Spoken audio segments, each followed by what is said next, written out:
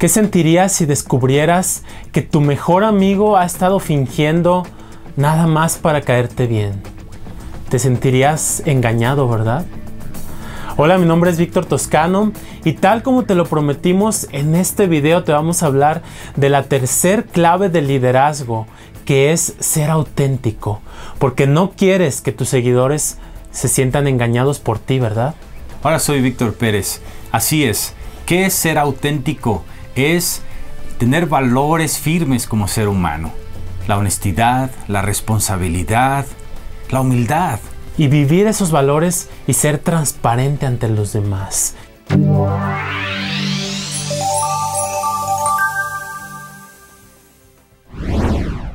Tienes que ser transparente porque uno de los principales errores que causan el que tú te vuelvas o el que una persona empiece a fingir ser lo que no es, es que dentro no se siente que vale. Cuando tú, sientes que vales como ser humano, no tienes ningún problema de que los demás te vean tal como eres.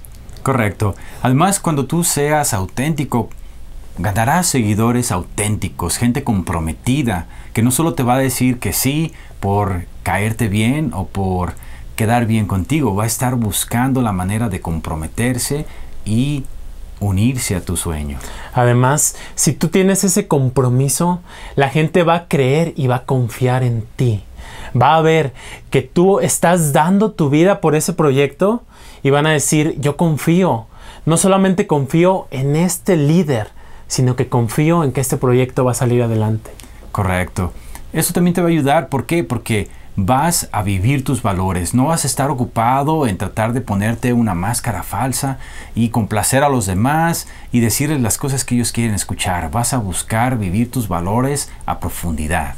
Además, recordemos que el éxito es una consecuencia de vivir nuestros valores. Si yo soy auténtico, si yo trabajo en ser cada vez una mejor persona y en tener firmes esos valores en todo momento, va a llegar el momento en que voy a decir que no a todas las propuestas que me vayan a llevar al fracaso. Y siempre voy a estar diciéndole, día con día le voy a decir que sí a esa propuesta que me va a llevar al éxito. Eh, solo abre el periódico cualquier mañana y te darás cuenta que está lleno de gente que primero hizo un compromiso auténtico, pero al fallar a sus valores fue descubierta y entonces tuvo que esconder su cara, avergonzarse y alejarse. Y no tienes por qué avergonzarte, no tienes por qué esconderte. Mejor trabaja en ser una mejor persona y que los demás te vean. ¿Cómo puedes, cómo puedes desarrollar este liderazgo auténtico? El primer paso que vamos a compartir contigo es que filtres las críticas y no te las tomes personal. De esta manera ya no te vas a preocupar demasiado por lo que otras personas piensen de ti. Si tú sabes que estás haciendo algo correcto, que es algo íntegro, que va de acuerdo a tus valores, no tienes por qué escuchar a una persona que te dice, ¿sabes qué?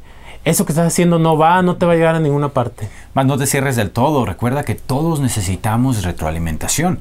Entonces llegará el momento en el que cometas algunas faltas o haya cosas que ajustar y tú estarás abierto a esa crítica, pero serás muy cuidadoso de filtrarla no tomarla personal y seguir adelante.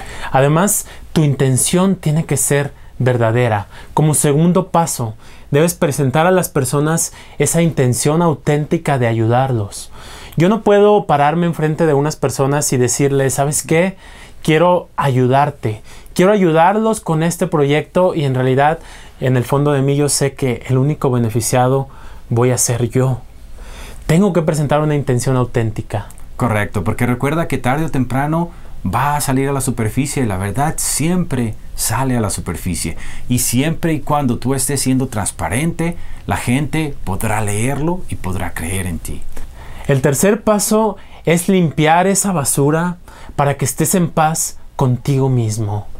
Hay veces que queremos ocultar nuestra cara tras una máscara porque sabemos que dentro de nosotros tenemos malos hábitos, tenemos vicios y venimos arrastrando un pasado con el que no estamos tranquilos. También puede ser situaciones en tu presente o en tu futuro, cosas en las que estás metido ya, te comprometiste y sabes que no son honestas o que son fuera del contexto que va dentro de tus valores y ahí es donde vas a tener que decir voy a tomar una postura fuerte a limpiar mi vida y de esa manera estar en paz conmigo mismo, eso te traerá muchos beneficios.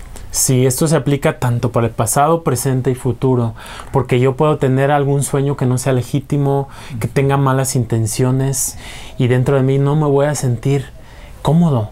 Y eso se transmite a las personas y la gente, aunque no lo creas, detecta cuando tú eres auténtico. Por eso tienes que enfocarte a ser auténtico.